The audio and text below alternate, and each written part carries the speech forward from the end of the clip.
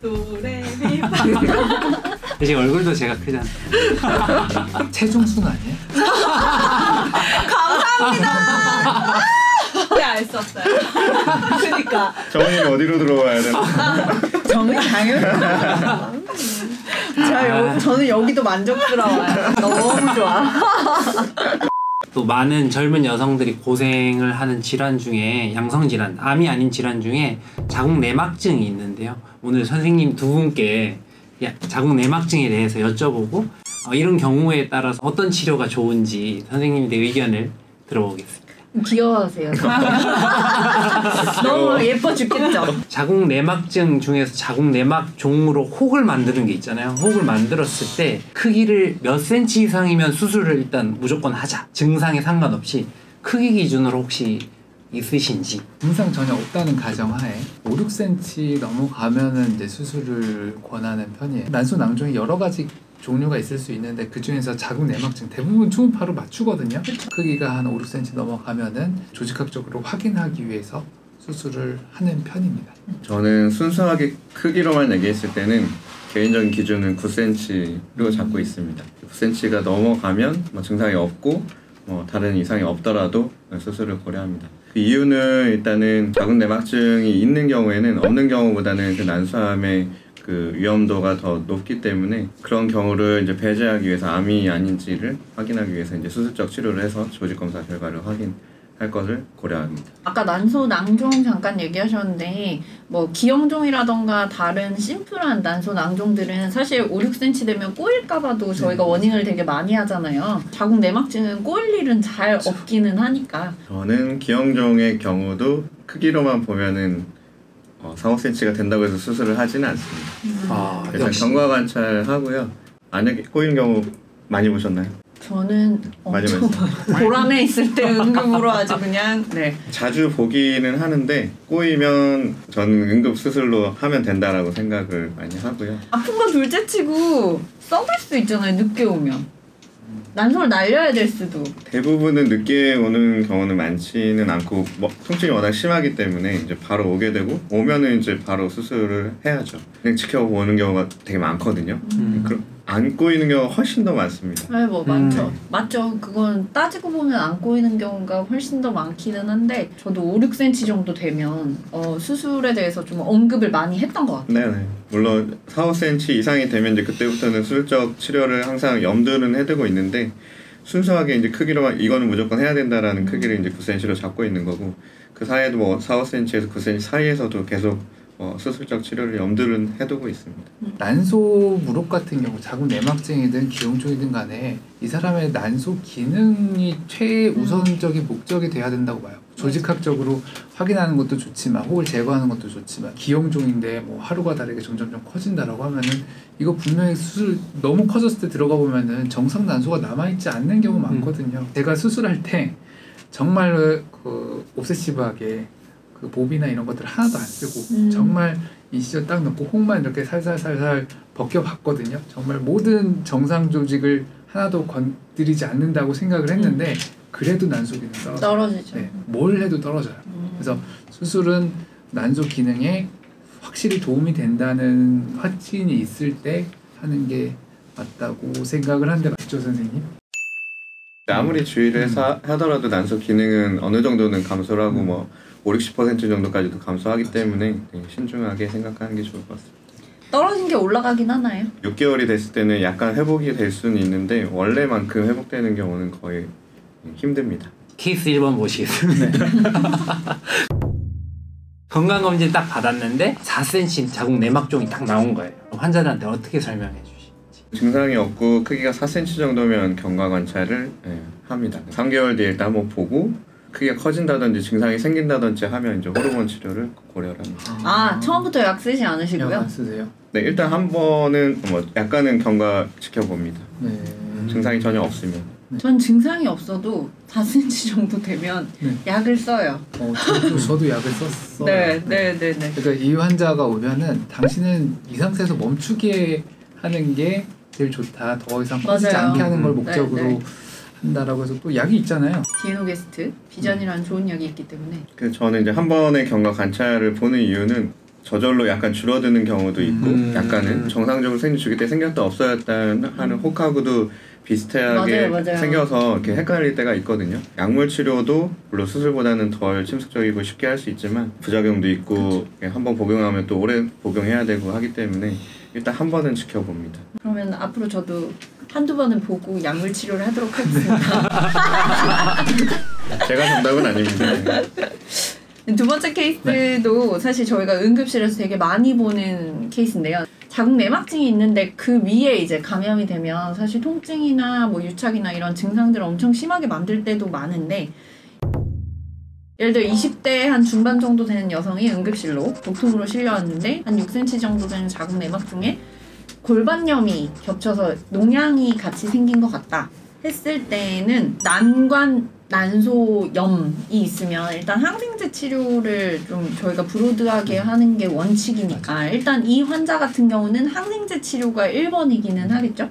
그럼 항생제 치료를 완료를 다 하고 났으면 이건 두고 보실 건가요? 항생제 치료를 해서 농양은 다 호전이 돼서 그렇죠. 해결이 됐다. 감염의 증거는 다 없다. 없어짐. 네. 그러면 뭐 6cm 정도면 저는 이제 수술보다는 어쨌든 호르몬 치료를 약물을 복용을 할것 약물을 같습니다. 먼저. 선생님은요? 저도 수술 웬만하면 안 하고 싶은 게 수술장 들어가 보면은 난소랑 예전에 그 고름이 있었던 부분에서 떡일 거고 그거 떼다 보면 정말 난소가 남아나지 않는 맞아요. 수가 있어요. 또못 살릴 수도 네. 있으니까. 그래서 오히려 혹을 때려다가 오히려 난소 기능을 망치는 결과도 있을 수 있기 때문에 근데 선생님은 한쪽이면 한쪽이 살아 있잖아요. 난소 기능이 완전 망가질까요? 난소는 뭐 양쪽에 두 개가 있으니까 한쪽이 아무리 손상이 돼도 뭐 괜찮지 않냐 생각할 수 있지만 어쨌든 한쪽이 거의 뭐 손상이 됐다 그러면 기능 거의 원래 가지고 있던 거의 절반 정도로 떨어지게 되는 거니까 그만큼 환자의 기회를 뺏는 걸수 있다. 네. 근데 만약에 뭐 치료를 했는데 뭐 나중에 농양이 또 다 재발해 가지고 다시 생겼다 그러면 일단 그때는 뭐 항생제 치료랑 뭐 수술적 치료도 같이 고려를 할 것 같아요. 아 근데 선생님 이런 거 재발이 되게 흔하잖아요. 왜냐면 네네. 이 자궁 내막 종이라는 게 되게 좋은 밭이잖아요. 균이 너무 자라기 쉽고 뭐 항생제로 이게 감염의 증거들이 다 없어졌다 하더라도 정말 쉽게 재발할 수 있는데 골반염이 반복이 된 상태에서 수술하는 게 더 문제가 되지 않을까요? 그래도 안 할래? 이런 근데- 질문 같아요. 재발한 경우라면은 일단 항생제 치료 이후에 수술 또 치료를 예, 고려를 할 수 있을 것 같습니다. 근종도 마찬가지로 이 정도 되면 평소에 증상이 있을 수 있을 가능성이 음, 높잖아요. 생리통이 심했을 가능성이 있고 수술하면 생리통은 좀 줄어들 수 있으니까 현재 지금 상태의 삶의 질을 음. 고려해서 결정할 수 있을 것 같아요. 젊은 여자분들이 많으니까 임신 난소 기능 뭐 이런 거에도 되게 집중하시는데 사실 이거 통증도 되게 큰 문제라서 아무리 난소 기능을 살리고 싶어도 환자가 아프다 뭐 이렇게 얘기를 하면은 사실 난소 기능 떨어질 거를 무릅쓰고 네네. 수술을 하기는 해야 되잖아요. 네네. 그래서 물론 난소 기능 입장에선 손 안 대면 좋기는 하지만 어 통증이 심하시면 이렇게 난소 기능을 최대한 안 떨어뜨리게 선생님들이 수술 잘 하실겠죠? 하실 거니까 잘 해- 해야죠. 네. 잘 해야 되니까 이게 여러분들의 난소 기능을 떨어뜨리고 싶은 의사는 아무도 없어요. 대부분은 난소 기능 최대한 살리고 이 사람이 이 난소를 최대한 잘 쓰다가 자연적으로 폐경이 되기를 음. 산부인과 의사들 모두가 한 마음으로 원하니까 너무 이렇게 막 무조건 이거는 하면 큰일 나는 수술 이렇게 아시면 안 될 것 같아요. 왜냐면 저희 그 자궁 내막증 영상이나 뭐 근종 영상이 나가고 나면 댓글로 늘 달리는 게 와 씨 나는 수술했는데 내 의사는 왜 이렇게 했냐? 나 선생님들 찾아가 볼 걸. 이런 댓글이 되게 많이 달리는데 이 선생님들 수술 되게 많이 하세요. 진짜 많이 하시잖아요 신중하게 뭐 선택하고 고려해야 된다는 거지 뭐 하면 안 되고 뭐 그게 안 좋다라는 건 절대 아닙니다. 그렇죠 수술 많이 합니다. 두 분 다 엄청 많이 하세요 제가 걱정되네요. 네. 왜 그러셨어요? 자기 자궁 내막증을 수술했는데 왜 우리 선생님은 난자 동결 아예 권해주지도 음. 않았냐 뭐 이런 댓글들이 있는데 난자 동결하고 뭐 미리 준비하고 이런 것도 사실은 개념이 생긴 지가 얼마 안 됐고 맞아요 AMH 검사 자체도 이렇게 하는 지가 몇 년 안 됐거든요. 수술하면 또 난소 기능이 이제 감소한다 이런 개념 자체도 생긴 지가 얼마 안 되고 해서 최근에 그런 것들을 이제 고려하고 있는 거라서 최신 지식을 전달하는 채널이군요. 어, 의학은 계속 발전하고 있고 네. 예, 저희가 그런 좋은 정보들을 전달해드리도록 하겠습니다 그래서 그걸 보려면 구독과 좋아요.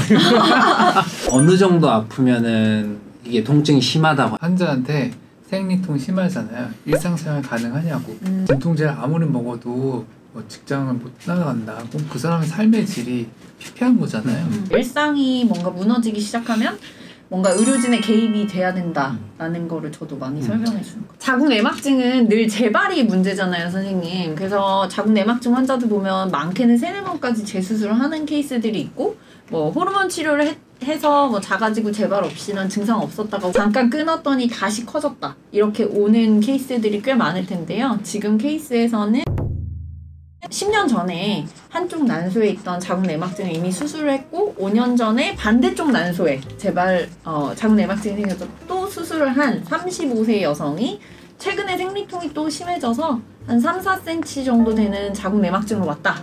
세 번 생긴 거잖아요. 세 번 생긴 거고 재발 두 번에서 세 번째. 어, 출산을 만약에 했다고 치면 어떤 치료를 권해주실 건가요? 저는 1차적인 치료는 뭐 이분 같은 경우에는 호르몬 치료를 할 것 같습니다. 자궁내막증 치료 디에노게스트 약물이 없었을 때는 어쩔 수 없이 뭐 수술을 할 수 있었겠지만 지금은 약물이 있기 때문에 약물 치료를 우선적으로 고려할 것 같습니다.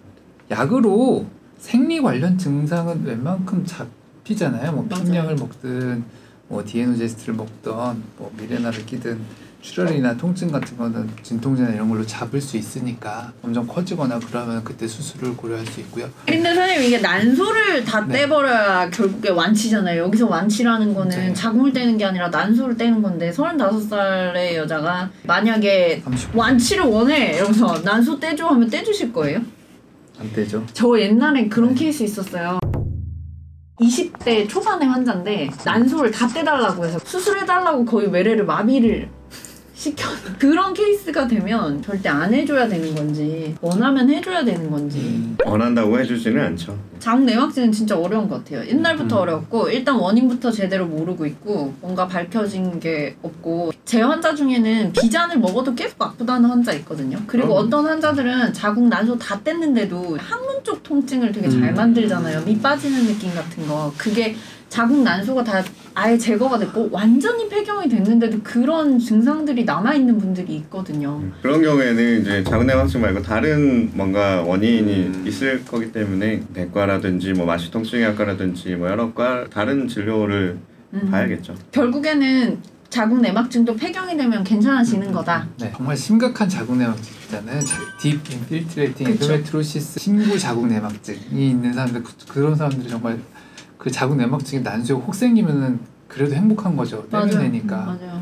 그 조직 밑으로 깔려. 침투하는 맞아요. 거예요. 침투해서 심해져서 자 그 요관도 막고 요관이 막혀서 콩팥에 수신증도 생기고 그런 분들 종종 있잖아요. 음. 그거는 뭐 수술을 피할 수가 없죠. 들어가서 떼줘야 되고 그런 분들은 적극적으로 호르몬 치료도 하고 그런 분들이 만약에 아기 낳을 계획이 없으면 고민이 되더라고요 그때는 맞아. 어렵긴 하다. 어려워요. 여기 골반이 그냥 한 덩어리로 이렇게 돼 있는 경우 있잖아요. 수술하는 케이스는 아는 경우가 그런 케이스들이거든요. 최대한 다 유착 있는 거 제거하고 혹 제거하고 예, 그렇게 하고 있어요. 자궁내막증이 아까 김태현 선생님도 얘기하셨지만 전 세계적인 추세가 예전에는 뭐 진단도 그렇고 치료도 그렇고 수술을 되게 음, 우선시하는 맞아요. 했었는데 최근에는 초음파나 MRI로 진단하고 뭐 경험적으로 약물 치료하고 수술은 이제 그 다음에 고려하고 뭐 이런 쪽으로 좀 많이 가는 추세거든요. 특히 아기를 낳을 사람들, 음. 뭐 임신 시도를 하고 있는 사람들은 웬만하면 수술을 안 하는 분위기더라고요. 맞아요. 어차피 자궁 내막증이 불임이 원인이고,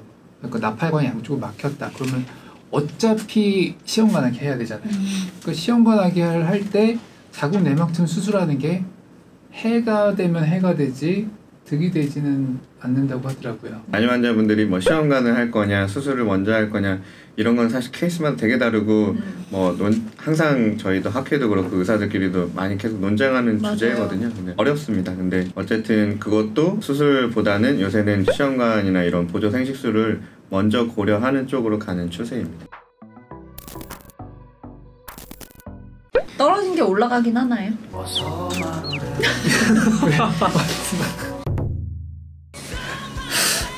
네, 뭐 난선은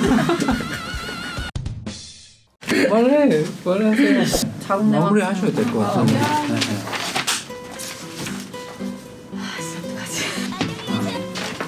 아, 되지 않을까요?